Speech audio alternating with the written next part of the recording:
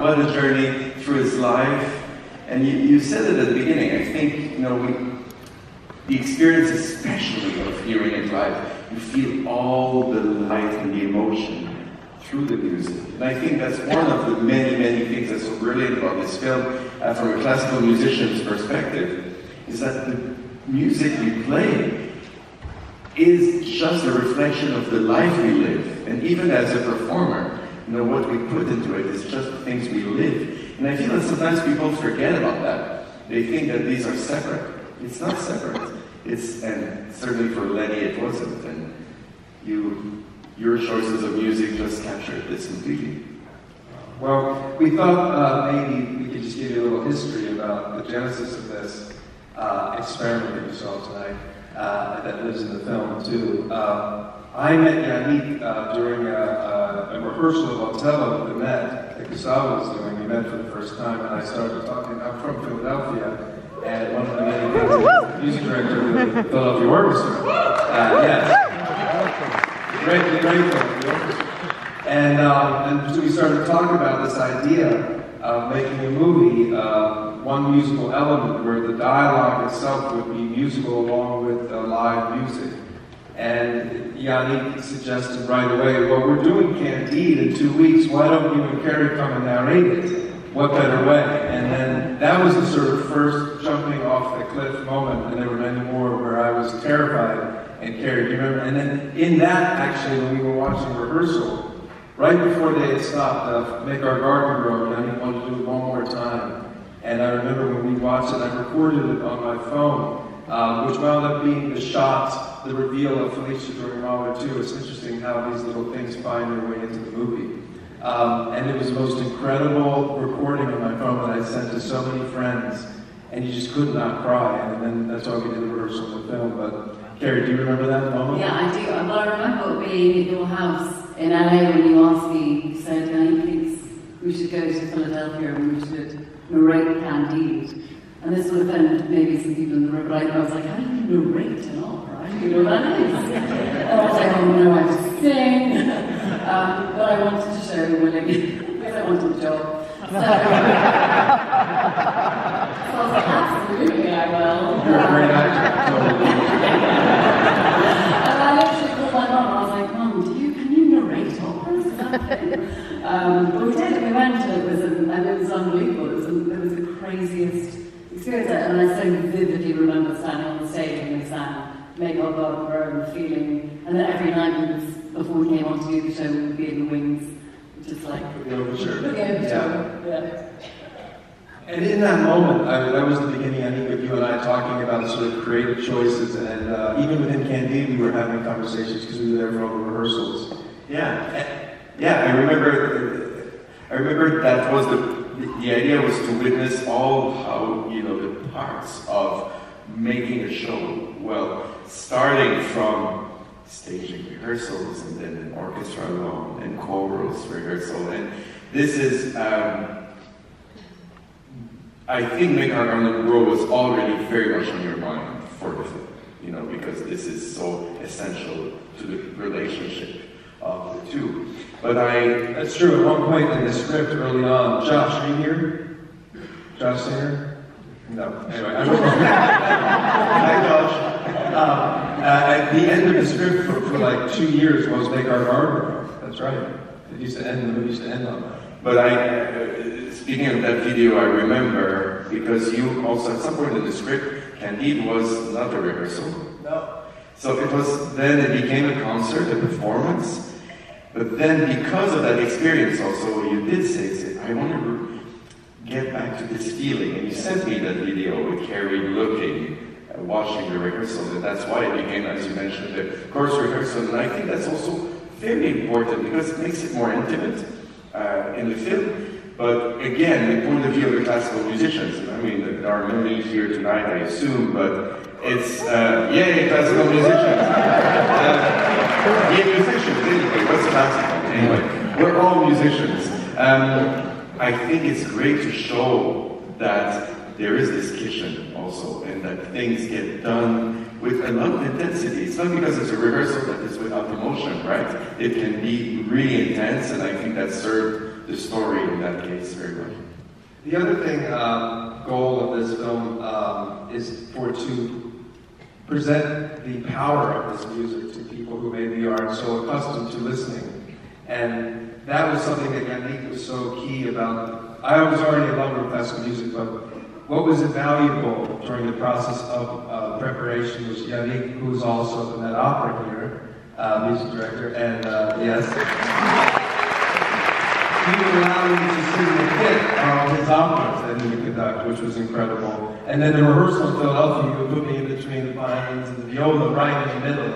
And anybody who ever gets a chance to be on the, you know, on the field, as it were, uh, just the, the absolute power of the music. And the one thing that, that I hope this movie can somehow portray is the absolute miracle of, of this type of collective um, musical experience that I've never, and I love music, and clearly I a, a movie with rock music and that I love, but there's just, for, me, nothing comparable to coming into a hall like this and watching all of these musicians play together. Isn't it just the most incredible magic?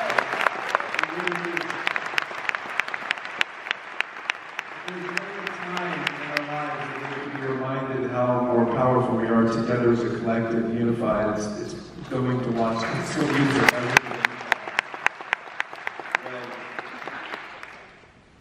How much did you imagine before? I mean, we talked about this, but I, I don't think I ever asked you the question so directly. How much did, before directing this particular film, you thought of conducting and directing as being very similar? Oh, I never thought about that. Wow. Yeah, it's true, but, but um, yeah, that's interesting. Because I don't think, like many people, many of my friends are like, what the heck is conducting? You know, and you're like, well, don't disagree. Yeah, what the heck is well, it's, it's, everything. I mean, it's everything. Uh, it's, it's quite impossible. Uh, so I was, I was also ignorant of that fact. And it wasn't until studying with you and immersing myself that I realized just how incredible and how similar it really is, you're right, to, it's almost exactly the same. I observed from my vantage point when, whenever I was on set, I, I really observed you doing this very much like a conductor, and very musically also, respectful of everyone, but when it was time to be in the shot, in the emotion, everyone had to participate into this, which is very much what we do with the orchestra. You know, tonight, for just one example, after this huge Mahler scene, uh, after the applause for Lenny, Bradley, not Lenny, yes Lenny, yes Bradley, anyway, like this at the beginning, well, for you. Um, then there's two clarinets, you know, and this moment is so magical from the, uh, the age of anxiety. But the whole orchestra, they don't play, but they're there, they're participating. And I think this power of the collective, like you said, but also not necessarily because they all have something to do at that moment, but just being there in the space. And it, I, I found it fascinating to see you doing this during the film, directing and acting. I mean, I, mean, I know it's been said, but I mean, how, how is that possible? I'm still in awe. well, it's possible because of this woman right here, right?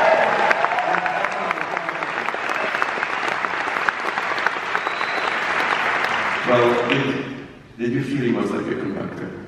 Well, I was going to say, I mean, I, I, he was everything, he was everything and everything on that set to all of us. And I was going to say, I, one of my memories from watching you in Philadelphia was watching you with the orchestra and the way they responded to you and the way you were with them. There was this unbelievably intimate relationship with all of these people. It was like you had a, like a little string to every single one of them. Um, and also just how much they loved you, and you could see that, and how, I mean, because we all love you, but, but, but they see how much they loved you, and I think that's what, it, that's, that was the first similarity for me between that and a film set, is if the director is someone that the crew want to work for and they love, like they did on our film, then they do, and it does feel like the two clarinets are playing, but everyone else is is standing very by, you know, ready to do their part, and, and that comes from the top. You know what I wish I would have been on set for is the fight. In Thanksgiving. I wish I on set for that. It's interesting you say that. Part of this, uh, I know I keep saying this experiment that we've all witnessed tonight, that really what it was. And the movie, to that degree, was in, talk, in thinking about it being one musical element, two of the instruments and all the other instruments that are vocal were the dialogue and the way that Josh and I wrote the dialogue based on the way that, you know, Lenny was so melodic with the way he spoke. It was like watching, listening to music, and Felicia. And that's why we had these, uh, you know, sonic elements tonight for you to listen to, um, hopefully which also found, you found rhythmic and melodic. And certainly that fight scene, which we wrote years ago, um, there was a melody to it. And even though I changed it on the day for what Lenny said, just because I could ride the melody of what, how you were playing it through your voice, um, that was one of the biggest thrills. And things that I learned from this film is just how you can play music just by two people talking. And that really is due to Carey, especially in that scene, being able to play the music so pristinely.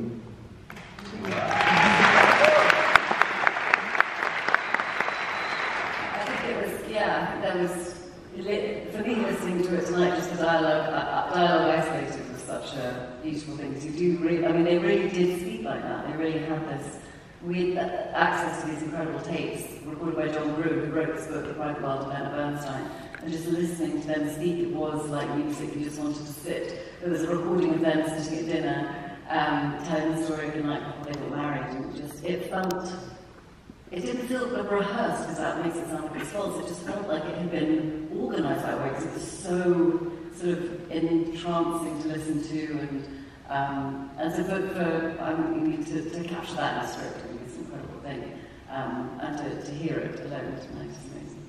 And and the only reason that we're all here is because of the children, because of Alex, Nina, and Jane.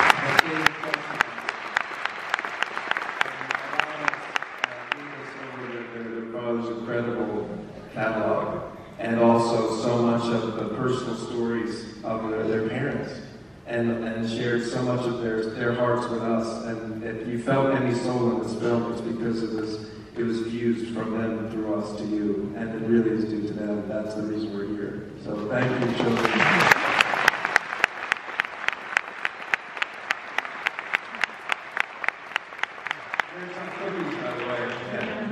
I was thinking very much about the three children. Um, my children. No, but of course, what an honor to have, uh, to be near you, to feel your enthusiasm and to feel your love for your parents and the music, as Bradley just said. But something that I had the chance to live myself and uh, uh, which you didn't have the chance to be with, which was the world premiere in Venice, where this is unforgettable. It made the round, you know, you saw clips of it, of course, but um, the three children dancing on the Candide Overture and kind of conducting during the credits uh, in front of everyone who was watching actually the credits and watching the children conducting this Candide Overture. So when I was conducting tonight, I just hoped that maybe you would stand up and start. a little secret, they were backstage conducting. No way. But I, I was going to ask you, um, Jenny, obviously for, for us, well, at least for me, I came into this knowing so little about Bernstein, and you would have come into this completely different frame of reference to who he was and how he inspired you. So I just wanted to ask you to just talk a little bit about him from your. Well, of course, over the course of the, this this amazing work in the film, you know, this great opportunity uh, that you gave me uh, working on this, I learned much more, obviously. But my own personal experience with it, if I can sum it up, was as a child wanting to conduct. When I was 10 years old, I decided I want to become a conductor. Then I started to try and buy recordings. It was the beginning of the CDs there, you know, the compact disc. Um, I'm sure some people here don't even know what this is. so, um, I would buy some very quickly, very early on. The Leonard Bernstein recording with the Vienna Philharmonic with Brahms Fourth Symphony. And I decided this was amazing. And immediately was kind of my hero. And only as a conductor. That's the funny part. I came later to the composing because I was vaguely aware, and West Side Story, yes, but I think maybe this is because I was in Canada. It was not as, I don't know, he was first and foremost a conductor there. And then when I started working in the States, of course I knew, but there was this kind of proposal of, yes, would you conduct this piece and that piece of Bernstein as a whole? And I conducted mass. As many things in my life, I do things, I start with the biggest thing ever. The first Mahler symphony I ever conducted at age 21 was Mahler 2. So then the first Bernstein piece really I conducted was Mass, which is massive, no pun, um, and was a shock. And Jamie was there, Nina was there, remember, Alexander was there too, I think, and it was a shock. And I felt, that was back in 2015, and I felt in Philadelphia, I must conduct all of his works. And then, that's why four years later, you came with this. I felt there was a mission in my life to uh, go more with his music, you know, his symphonies, his ballet music, his the, the,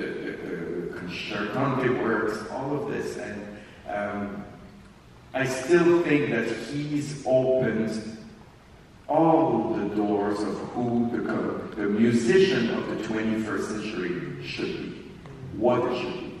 An open mind, someone who's respectful and embracing so many genres and trying to uh, know more about this music coming from that country, from that background, No, uh, wanting to communicate music to the children, communicate music to everyone who hasn't been exposed to this music.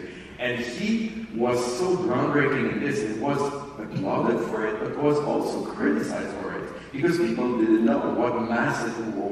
For example, why does mass have jazz and Hebrew and rock and choral? It's not right. That was the, the 1970s way of embracing it. But of course, sure enough, Bernstein was this visionary that today, this is what we do. We don't categorize things too much, and we embrace everything. And that's why I think your film is so, uh, such a gift for people to understand how important and amazing it. I don't think the music world would be where it is at the moment if it were not from uh, of, of him, of Lenny, opening all those doors.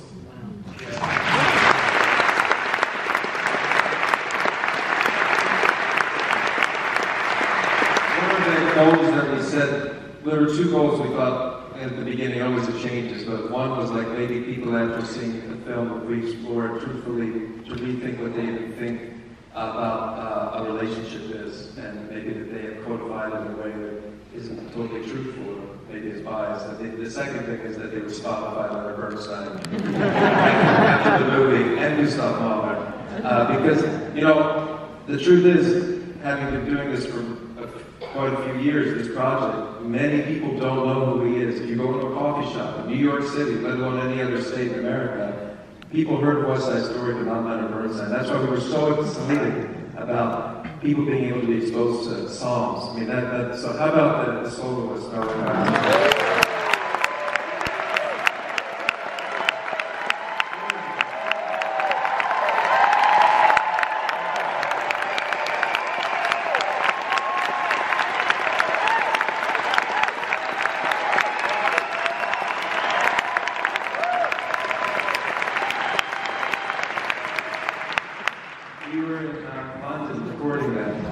we, we had tried to go with all original recordings in, in the mixing of the movie. Uh, there just wasn't recorded with the technology that allowed us to be able to mix in Atmos. So very late in the, in the game, uh, again, a mammoth undertaking in a very short time, we went to London and we recorded, and that's when we met Malachi and all of the other soloists. And they were, were so grateful that you came here tonight so that you could hear these voices that are in the film. Thank you to all the soloists.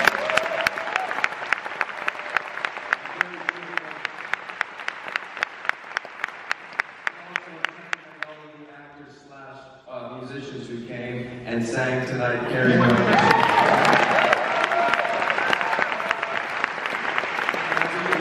We'll be doing uh, Yeah, what, what, what day? Let's plug it. The, the third and the fourth. Of March, you'll be doing. Comden and Green. There you go.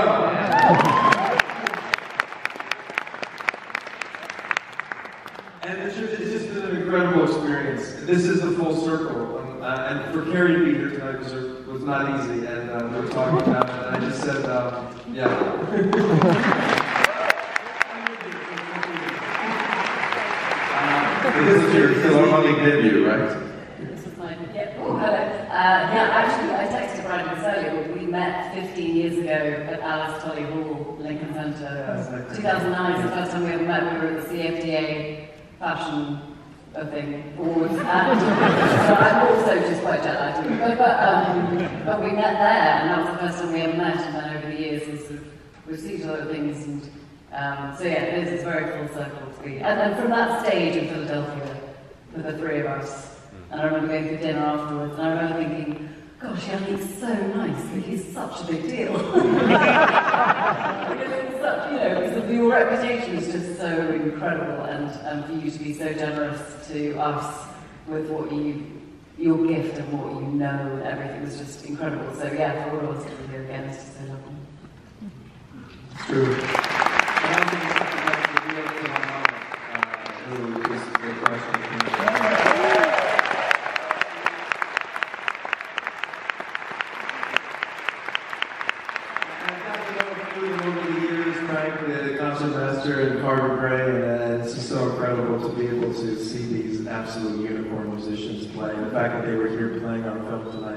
Uh, it's really, it's hard to get my head around. Honestly, I was, I was like scared to even talk to them years ago. He's also like, what is this guy doing here? You gonna do a movie about a uh, Bernstein? Okay. you gotta come like once. And I'll be here like five times a week for four years. Literally enough. I, I, I'd like to say it with your permission, Bradley, you know, what I told you earlier about the classical music for that um, We feel classical musicians for, I think, you know, maybe we exaggerate in our minds, but we feel that what we do is for everyone. But we feel that somehow a lot of people, you mentioned it earlier just now, like Leonard Bernstein isn't necessarily a household name everywhere. And we feel that sometimes we're not, you know, we're not as well known as Beyonce, let alone Taylor Swift. So then we look kind of as outsiders, people who have really a lot of following and people respected and well known by everyone. And when someone like Bradley Cooper uh, and also Carey Mulligan decide that your talent and your vision and your wisdom and your artistry is at the service of something that's going to make our art better known. I mean, he, Bradley Cooper, is our hero in the world of, of music. Thank you.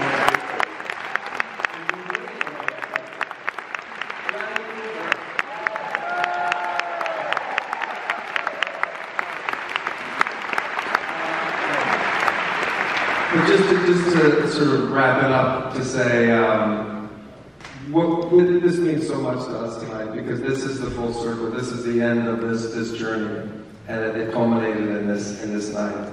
So the fact, first of all, you all stayed. Thank you for this talk. But uh, I will carry this for my entire life. This has changed my life. This experience. Um, Alex, Nina, Jamie, you, you changed my life by opening up to us it is all because of you. I know I keep saying it, but it is true. And the love that you have, I can see in your eyes when you look at us uh, with such a cherished piece of your heart that you gave us to explore and so that we can tell a story to others. You know, that's what it's about, just sharing, sharing, sharing truth with each other. And, and because of you, we're able to be here tonight. Thank you, everybody, for being here.